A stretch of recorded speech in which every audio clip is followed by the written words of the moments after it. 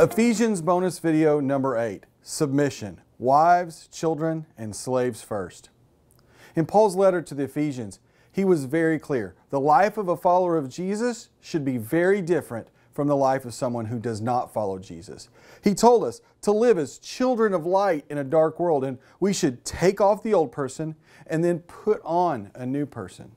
Christians, Christians live moral, ethical, spirit controlled lives in front of non Christians who live controlled by their evil desires.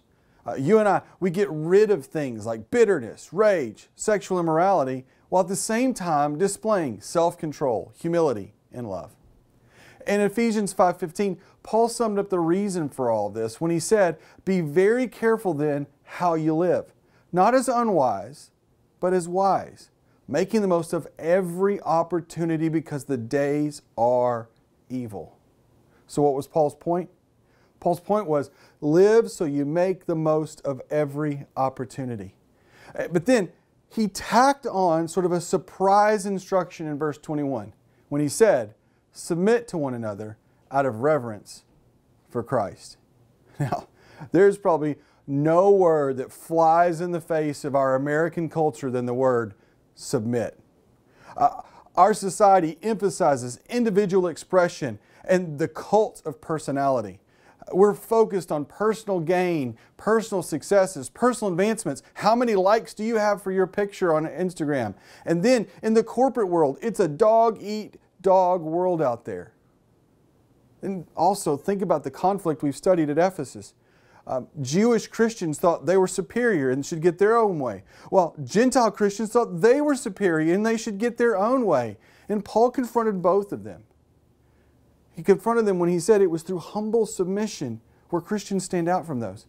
When everyone surrendered their desires and demands, they looked like Jesus and they looked less like the culture around them. Sure, submission isn't popular. Voluntarily giving up your rights and your privileges, well, it isn't easy. It's not natural. Actually, it's supernatural.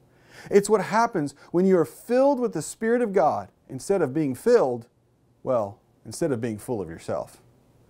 And to explain mutual submission, both parties surrendering their ideas and their ideals up for the other, Paul gave three examples of this submission. So let's stop before we go any further. And I have to acknowledge the difficulty and controversy associated with Paul's three examples. Some people are offended by these words. People disagree about what Paul meant or whether he should even whether we should even follow these examples today. And, and it's, it's more than an interpretation issue. People have horribly misused these examples to harm others and to justify their sin, sinful actions. Yeah, you heard me right. They've used these scriptures to justify their sin and mistreatment of others. And I think Paul would be furious for being misquoted. So, Paul's three examples of submission were bound up all in relationships. First, the relationship between a husband and a wife, the relationship between parents and children, and then between masters and slaves. Now, that middle one, parents and children, it's the least controversial. Uh, children are to obey their parents, and parents, especially fathers, are not to act in such a way that causes their children to be forced to disobey or rebel. And most people, they accept this as a great example of mutual submission. But the other two, marriage and slavery, well, those are a bit more complex. And in this video, I, want to try to discuss what I think Paul was asking for us to do in marriage. In the next part video, I'll unpack more about Paul's mentioning of slaves and how we understand slavery in the New Testament. Uh, but this controversy, this difficulty has to be talked about and addressed in a careful way. And what sets people off is not as much the verse Ephesians 5:21 submit to one another out of reverence for Christ even though we don't like that but that's not what sets us up. It's what immediately follows in verse 22, where Paul said, Wives, submit to your husbands as to the Lord. Women, submit to your husbands. Maybe you're now seeing the problem people have with Paul. So, what do we do with this? Well, let's start by agreeing to some basic guiding principles. Regardless of your interpretation or whether you agree or disagree with me, I think most of us would agree, though, that our goal is to faithfully follow the teachings of the Bible, even teachings or principles we don't personally like. I think we also agree it's wise to understand the situation in the context of biblical instructions. We want to accurately bring first century ideals into our 21st century while at the same time not imposing our 21st century situation or culture onto the Bible passage. Our goal is to faithfully follow the Word of God in our own time, which is the question. So, Randy, how are we as 21st century Christians to be faithful to the instructions on marriage from Paul and honor the gender roles discussed in Ephesians 5 today? Specifically, the reason why has nothing to do with anything other than this, Ephesians 5:15, so that we could be very careful how we live, not unwise but as wise, making the most of every opportunity because the days are evil. So in arriving at an answer or getting there today, first I'll talk about what, what why Paul chose these three examples, marriage, raising children, slavery. Then I'll explore what marriage was like during the first century. And after that, we'll talk about biblical submission and discuss what are we to do with this day. So first, why would Paul pick these specific examples? Was it a random choice? No, it wasn't. Uh, Paul purposely chose these examples because they were familiar conversation pieces to the Ephesians. Long before Paul wrote this, the Greek philosopher Aristotle wrote about household codes. Uh, these were instructions on a, how a man, a husband, or a father could live a virtuous life, to be respected, and have a well ordered, controlled house. You want to guess what three areas he chose to address in his household codes? Yep. Paul's three examples were the exact same ones that Aristotle used. Virtue, a good man was seen in how he treated his wife, his children, and his slaves. But it wasn't just Aristotle. A lot of other writers at the same time used these same three examples, these household codes, codes as well. So Paul's examples were typical of other writings of the day. But scholars think, and so do I, that there was more to it than just a philosophical convention. Paul used these three examples to show Roman leaders that Christianity itself was a moral and a virtuous religion. So, this is going to be new for you, so just kind of hang with me for a second. Because at the same time Christianity was growing in the Roman Empire, other religions were also spreading throughout the empire. And these cults or false religions often called for the overthrow of social customs. Roman women who joined these cults were encouraged to revolt against family norms. They were encouraged to keep secrets from their families and their husbands. And now, as Roman women were becoming Christians, there was a fear that they, like the other cult converts, were trying to undermine moral society. Now, I know this sounds strange to hear, but at the time, some Romans viewed Christianity as immoral and possibly anti family.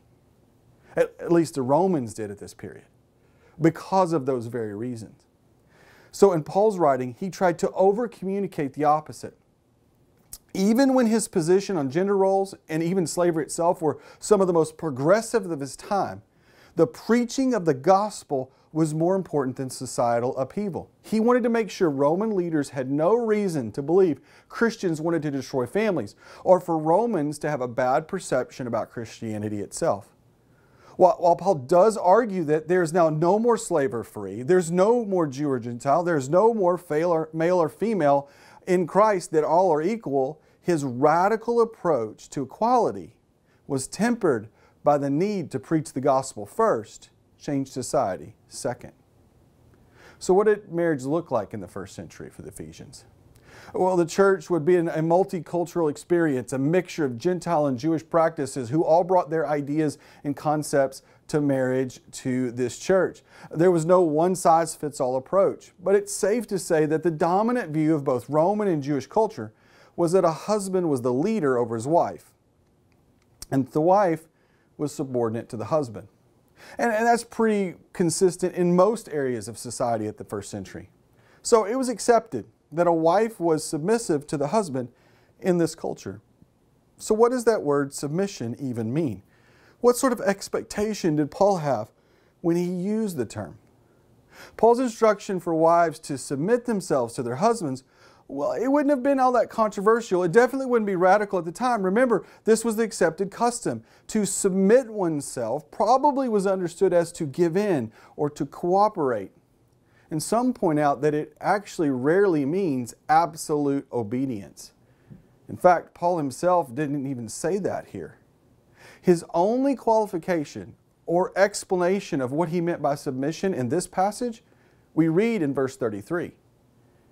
Paul said, However, each of you must also love his wife as he loves, loves himself. And then, further instruction to the wife the wife must respect her husband.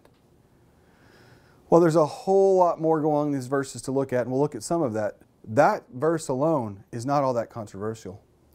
Paul asked for husbands to love their wives and wives to respect their husbands. That's a pretty good base for a loving, lasting marriage.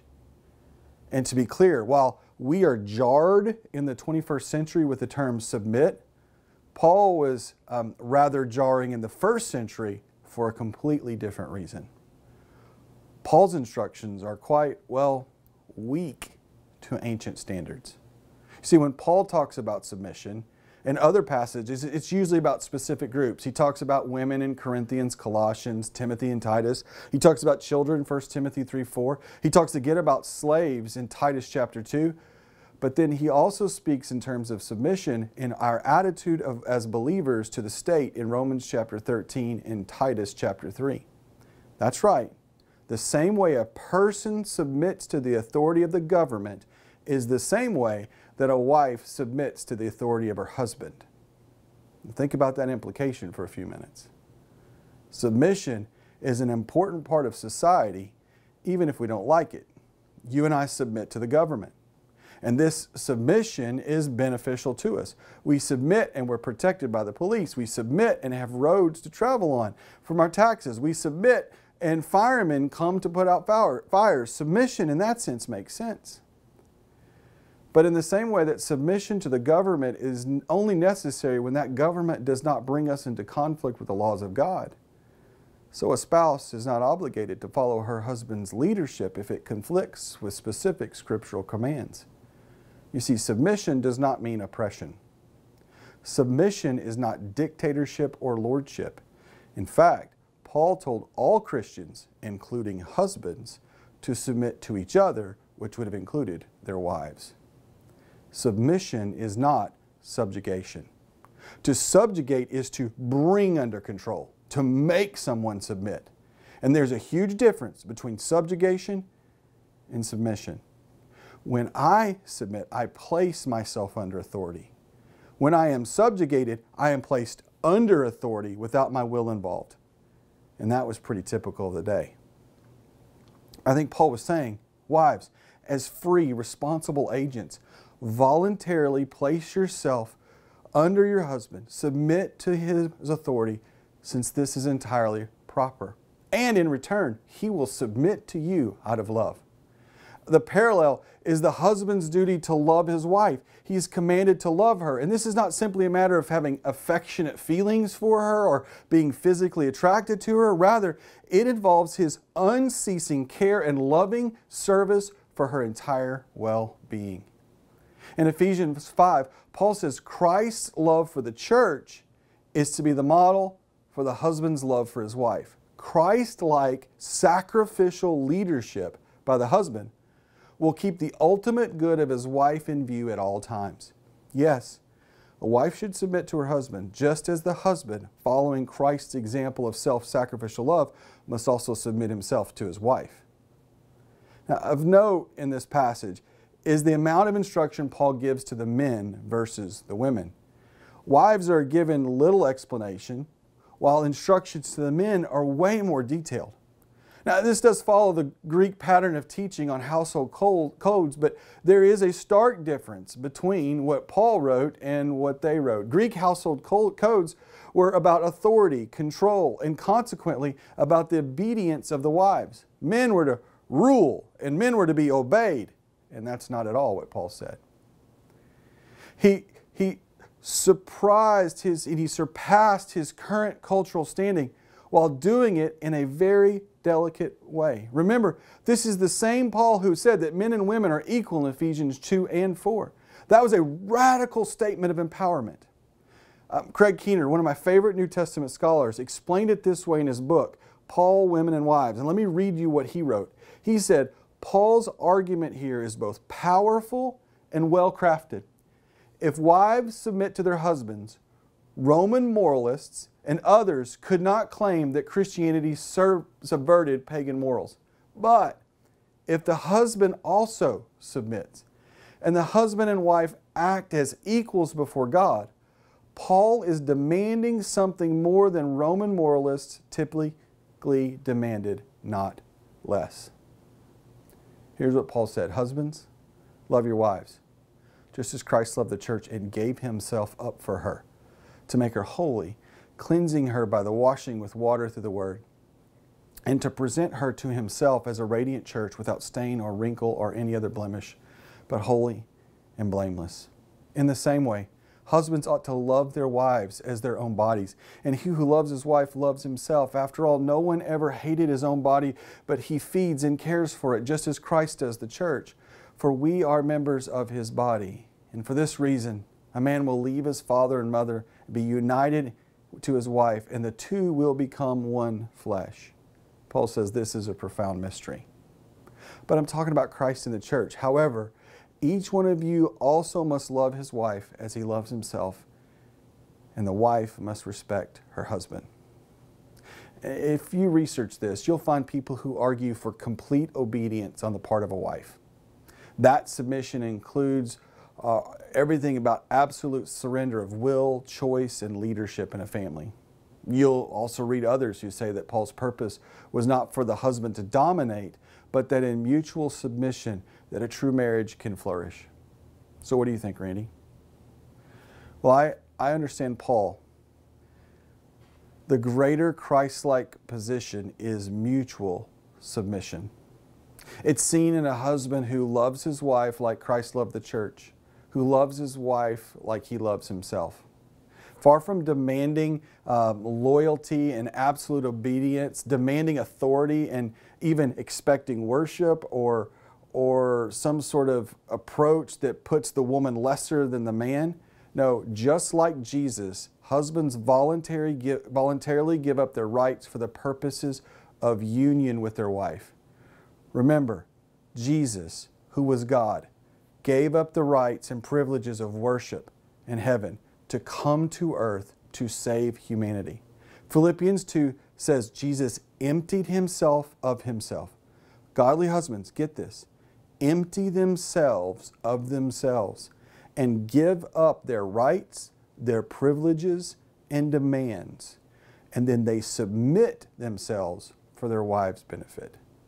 Godly wives voluntarily submit themselves to their husbands with respect and a Christ like attitude. Why was all this so important? You see, the home, the home was an important part of life and culture during this period, as it is today. And actually, probably even more than it is today. Your home in the first century was more than just a place that you ate and slept, it was the center of your life. Most likely in the first century, your job was attached to your home or within close proximity. You didn't commute to work. You, you, didn't go into the job. When you spent time with friends, you rarely went out to restaurants. You came together and ate. You went to each other's homes. Churches met in homes for worship and prayer. People gathered in their homes because outside at night was not safe. The home would serve as a place for people to know about you and even in this case, your God. People learned about God from you in your home and how you loved inside of your family. You learned a lot about a family and you learned a lot about God inside of a home. Paul taught that gender was irrelevant to your standing before God. Male versus female was not an issue to him. And if early followers of Jesus Christ wanted to listen, their message to be listened to, they had better be living a life that deserved to be listened to. Now, one last important point of Paul's message on marriage that I think often gets missed in the discussion of headship, leadership, and submission. Let's look back again at verse 31. For this reason, a man will leave his father and mother and be united to his wife, and the two will become one. It's really hard to have competing authority structures when we're living in unified oneness. A godly marriage is the mutual submission of selves to no longer have two separate entities, but one united person. That united coming together is achieved not in subjugating authority, but in mutual submission.